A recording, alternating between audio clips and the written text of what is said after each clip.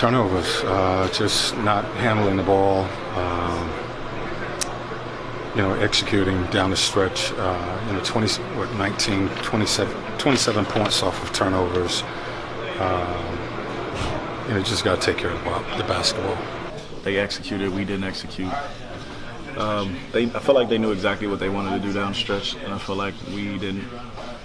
Uh, we weren't really sure. Um, but again, it's probably because you know I haven't played with them in a long time. So, um, but it's good for us to have these kind of games now. Uh, then later in the seasons or in the playoffs, so um, we know what we need to do better. Um, I think we made the right reads. We just had a we had an open open look at the end. You know, we just had to knock it down. Um, there was a couple plays where we didn't realize about the shot clock, but apart from that, we just didn't we just didn't make that last shot.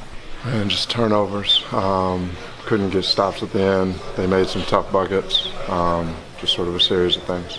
We gave ourselves a chance to win uh, tonight, um, and you know we uh, you know had this game. You know we got to finish games when you uh, uh, have a team down.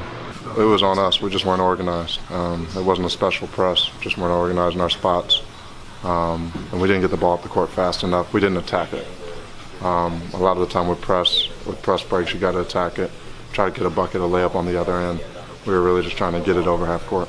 You know, it's a process. Um, at the end of the day, I feel as though that um, you know it's, it's it's games like this that'll show what type of team we are by how we learn from them. So uh, if we want to be the team that we talk about wanting to be, then next time we're in this position, we should execute better.